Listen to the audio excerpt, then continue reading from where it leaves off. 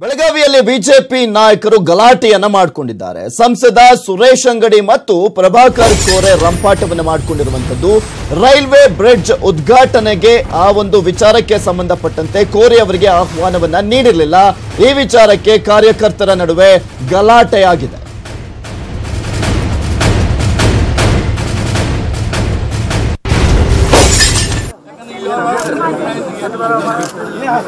ಆಹ್ವಾನ ಪತ್ರಿಕೆಯಲ್ಲಿ ಹೆಸರನ್ನ ಕೈಬಿಟ್ಟಿದ್ದಕ್ಕೆ ಆಕ್ರೋಶವನ್ನ ವ್ಯಕ್ತಪಡಿಸಲಾಗಿದೆ. ರೈಲ್ವೆ ಅಧಿಕಾರಿಗಳ ವಿರುದ್ಧ ಪ್ರಭಾಕರ್ ಕೋರೆ ಅವರು ಗರಂ ಆಗಿದ್ರು.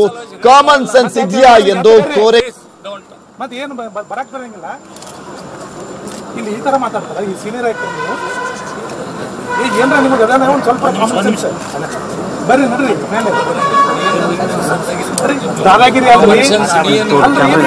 ಏನು ಬ- ಬ- ಬರಕ್ ಬರಂಗಿಲ್ಲ ಇಲ್ಲಿ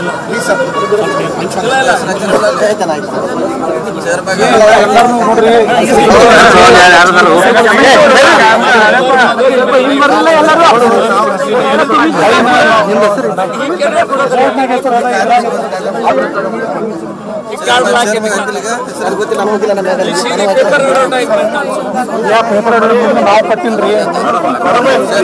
ಆಯ್ತು ನೀವು ಈಗ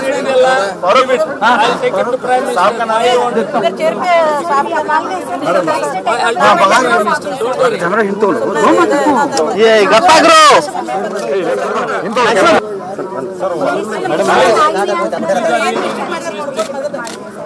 ಗೆಸ್ಟ್ ಕ್ಯಾಮ್ರಾ ಓಪನ್ ಕಾರ್ಯಕ್ರಮ ಏನಿದೆ ಹೌದು ಕಾರ್ಯಕ್ರಮ ಇದು ಕಾರ್ಯಕ್ರಮ ಅಂದ್ರೆ ನಾವು ಬರ್ತೇವೆ. ರೈಲ್ವೆ. ಬರ್ತಾರ ನೀವು ಉದ್ಘಾಟನೆ ಮಾಡ್ಕೊಂಡು ಪೇಪರ್ ರೈಲ್ವೆ ಬರ್ತಾರೆ. ರೈಲ್ವೆ ಕಾರ್ಯಕ್ರಮ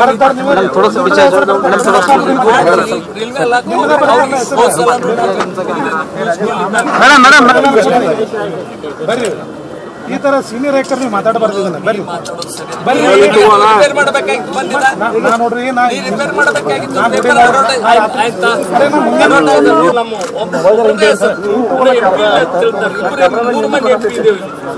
ರೈಲ್ವೆ ಡಿಪಾರ್ಟ್ಮೆಂಟ್ ಇಲ್ಲಿ ನೋಡಕ್ ಹೋಗಿಲ್ಲ. ಅಂದ್ರೆ ಸ್ಟೇಜ್ ಮೇಲೆ ನಾವಿಲ್ಲ ಇಲ್ಲ. ಡ್ರಾಪ್ನಾಗ ಹೆಸರಿಲ್ಲ ನಾವಿಲ್ಲ ನಾವು ಉದ್ಘಾಟನೆ ಮಾಡ್ತೇವೆ ಹೋಗ್ತೇವೆ. ನಾ ಇವತ್ತಿನ ಜಗಳ ಮಾಡಿಲ್ಲ. ಇವತ್ತು ಫಸ್ಟ್ ಟೈಮ್ ಜಗಳ ಮಾಡಕತ್ತೈತಿ ಮತ್ ನೀ ಇದ್ರ ಮೈ ಮ್ಯಾಗ ವೈಯಕ್ತಿಕ ನಿಂಗೆ ತಗೊಳ್ಳೋ ಜೋರು it's not your program it's railway department ಅವಳು ಹೇಳ್ತಾಳೆ ನೀ ಮಾತಾಡ ಅನ್ನ ನೀನ ಮಾಡಿ ಒಟ್ಟು ಒತ್ತಡಿ ನೀವು ಬರ್ರಿ ಎಲ್ಲರೂ ಹಿಂದೂರಿ ಎಲ್ಲರಿಗೂ ಬರ್ತೈತಿ ನೀವು ಬರೋರಲ್ಲ ನಾ ಕರೆಯತನ ಬರ್ತೀರಾ ಇಲ್ಲೋ ನಾ ಕರೆಯತನ ಬರ್ತೀರಾ ಇಲ್ಲೋ ಗಪ್ಪರ ನನಗೆ. ನೀವು ನೀವು ಅಷ್ಟೇ ಕೇಳ್ತೇನೆ ಈ ಕುರಿತಂತೆ ಹೆಚ್ಚಿನ ಡೀಟೇಲ್ಸ್ ಅನ್ನ ನೀಡ್ತಾರೆ ನಮ್ಮ ಪ್ರತಿನಿಧಿ ಚಂದ್ರಕಾಂತ್ ಸುಗಂಧಿ. ಎಸ್ ಚಂದ್ರಕಾಂತ್ ಇಲ್ಲಿ ಪ್ರಮುಖವಾಗಿ ಬಿಜೆಪಿ ನಾಯಕರು ಬೀದಿ ಜಗಳವನ್ನ ಮಾಡಿಕೊಂಡಿದ್ದಾರೆ. ಅದು ಸತೀಶ್ ಜಾರಕಿಹೊಳಿ ಅವರ ಮುಂದೆನೆ. ಏನ್ ಕಾರಣ? ಯಾರ್ದು ತಪ್ಪಿದ್ದಿದ್ದು ಇಲ್ಲಿ?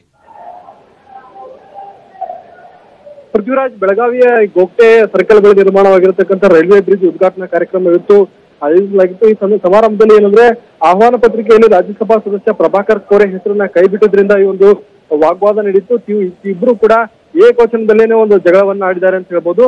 ಏನು ಪ್ರಭಾಕರ್ ಕೋರೆ ಅವರಿಗೆ ಕಾಮನ್ ಸೆನ್ಸ್ ಇದೆಯಾ ಅಂತೇಳಿ ಸುರೇಶ್ ಅಂಗಡಿ ಅವರು ಒಂದು ರೀತಿ ಇಬ್ಬರು ಇಬ್ರು ಕೂಡ ಪರಸ್ಪರ ವಾಗ್, ವಾಗ್ದಾಳಿ ನಡೆಸಿದ್ರು. ಪಕ್ಕದಲ್ಲೇ ಕುಳಿತು ಸತೀಶ್ ಜಾರಕಿಹೊಳಿ ಹಾಗೂ ಅನೇಕರು ಇಬ್ಬರನ್ನ ಸಮಾಧಾನ ಪಡಿಸಿ ಯತ್ನ ಮಾಡಿದ್ರು. ಆದ್ರೂ ಕೂಡ ಇಬ್ರು ವಾಗ್ವಾದವನ್ನ ಮುಂದುವರಿಸಿದ್ರು. ಕೊನೆಗೆ ಏನು ಇಬ್ರು ರೈಲ್ವೆ ಇಲಾಖೆ ಅಧಿಕಾರಿಗಳು ತಪ್ಪಿಂದ ಆಗಿರ್ತಕ್ಕಂಥದ್ದು ಅಂತ ಹೇಳಿ ಇಬ್ಬರಿಗೂ ಕೂಡ ಮನವರಿಕೆ ಆದ ನಂತರ ವೇದಿಕೆಯನ್ನು ಹಂಚಿಕೊಂಡಿದ್ದಾರೆ ಪೃಥ್ವಿರಾಜ್.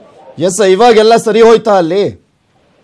ಆ, ಪೃಥ್ವಿರಾಜ್ ಈಗ ಸದ್ಯಕ್ಕೆ ಏನಂದ್ರೆ ಕಾರ್ಯಕ್ರಮ ಆರಂಭಗೊಂಡಿದ್ದು ಈಗ ಇಬ್ರು ಕೂಡ ವೇದಿಕೆಯನ್ನು ಹಂಚಿಕೊಂಡಿದ್ದಾರೆ. ಆ, ಪ್ರಭಾಕರ್ ಕೋರೆ ಅವರು ಏನಂದ್ರೆ ನಾನು ಯಾವುದೇ ಎಲ್ಲೂ ಕೂಡ ನನ್ನ ಹೆಸರನ್ನು ಹಾಕಿಲ್ಲ ಅಂತ ಹೇಳಿ ಜಗಾಡಿರಲಿಲ್ಲ ಆದ್ರೆ ಇದು ಮೊದಲ ಬಾರಿಗೆ ನಾನು ಪ್ರಶ್ನೆಯನ್ನ ಮಾಡ್ತಿದ್ದೀನಿ ಅಂತ ಹೇಳಿ ಕೇಳಿದ್ರು. ಇದರಿಂದ ಸುರೇಶ್ ಅಂಗಡಿ ತೀವ್ರ ಆಕ್ರೋ- ಆಕ್ರೋಶಗೊಂಡ್ರು. ನಿಮಗೆ ಸ್ವಲ್ಪ ಕಾಮನ್ ಸೆನ್ಸ್ ಇದೆಯಾ ಅಂತ ಹೇಳಿ ಆ, ಪ್ರಭಾಕರ್ ಅವರನ್ನ ಕೋರೆ ಅವರನ್ನ ಕೇಳಿದ್ರ ಜೊತೆಗೆ ಏನು ಈ ಚಿಕ್ಕ ವಿಷಯಕ್ಕೆ ಜಗಾಡ್ಬೇಡಿ ಅಂತ ಹೇಳಿ ಇಬ್ರು ಕೂಡ ಇಬ್ರು ತಾವ್ ತಾವೇ ವಾಗ್ವಾದವನ್ನ ಮಾಡ್ಕೊಂಡು ಏನು ಅಲ್ಲಿದ್ದಂತ ಅನೇಕ ಶಾಸಕರು ಅನೇಕ ಆ, ಏನು ಜನಪ್ರತಿನಿಧಿಗಳು ಇಬ್ಬರನ್ನ ವಾಗ್ವಾದ ನೋಡಿ ಒಂದು ಕ್ಷಣ ಮುಗ್ ಸುಮ್ಮನಾದ್ರು ಎಲ್ಲರೂ ಕೂಡ. ನಂತರ ಈಗ ಆ, ತಾವಿಬ್ಬರೇ ಏನೋ ಸಮಸ್ಯೆಯನ್ನ ಬಗೆಹರಿಸಿಕೊಂಡು ವೇದಿಕೆ ಹತ್ತಿ ಆ, ರೈಲ್ವೆ ಬ್ರಿಡ್ಜ್ ಉದ್ಘಾಟನೆ ಕಾಮಗಾರಿಯನ್ನ ಉದ್ಘಾಟನೆ ಮಾಡಿದ್ದಾರೆ Prithviraj. Okay thank you Chandrakant ನಿಮ್ಮೆಲ್ಲ ಡೀಟೇಲ್ಸ್ಗಾಗಿ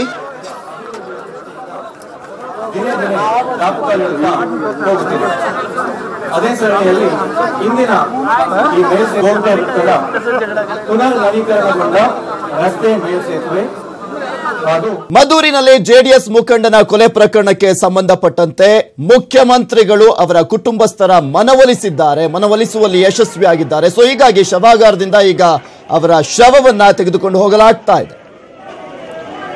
ನೋಡ್ತಾ ಇದ್ದೀರಾ ನೀವು ಕೂಡ ದೃಶ್ಯಾವಳಿಗಳಲ್ಲಿ? ಇಲ್ಲಿ ಪ್ರಮುಖವಾಗಿ ಆಕ್ರೋಶವನ್ನ ವ್ಯಕ್ತಪಡಿಸ್ತಾ ಯಾವುದೇ ಕಾರಣಕ್ಕೂ ಕೂಡ ನಾವು ಶವವನ್ನ ತೆಗೆದುಕೊಂಡು ಹೋಗೋದಿಲ್ಲ.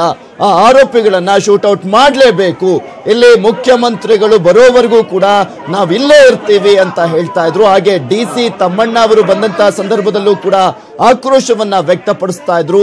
ಕೊನೆಗೂ ಈಗ ಮುಖ್ಯಮಂತ್ರಿಗಳಾಗಿರುವಂತಹ ಕುಮಾರಸ್ವಾಮಿ ಅವರು ಅವರ ಕುಟುಂಬದವರ ಮನವೊಲಿಸುವಲ್ಲಿ ಯಶಸ್ವಿಯಾಗಿದ್ದಾರೆ ಸೊ ಹೀಗಾಗಿ ಅವರ ಪಾರ್ಥಿವ ಶರೀರವನ್ನ ಈಗ ತೆಗೆದುಕೊಂಡು ಹೋಗಲಾಗ್ತಾ ಇದೆ. ಸಾಕಷ್ಟು ಸಂಖ್ಯೆಯಲ್ಲಿ ಅವರ ಅಭಿಮಾನಿಗಳು ಹಾಗೆ ಜೆಡಿಎಸ್ನ ನ ಕಾರ್ಯಕರ್ತರು ಕೂಡ ಸೇರಿದ್ದಾರೆ. ಅವರ ಕುಟುಂಬದವರೆಲ್ಲರೂ ಕೂಡ ದುಃಖ ತೃಪ್ತರಾಗಿದ್ದಾರೆ ಅವರ ಕುಟುಂಬದವರ ಆಕ್ರಂದನ ಕೂಡ ಮುಗಿಲು ಮುಟ್ಟಿರುವಂತದ್ದು. ಮತ್ತು ಒಂದ್ ಕಡೆ ಜೆಡಿಎಸ್ನ ಕಾರ್ಯಕರ್ತರ ಆಕ್ರೋಶ ಕೂಡ ಭುಗಿಲೆದ್ದಿದೆ ಅಲ್ಲಿ.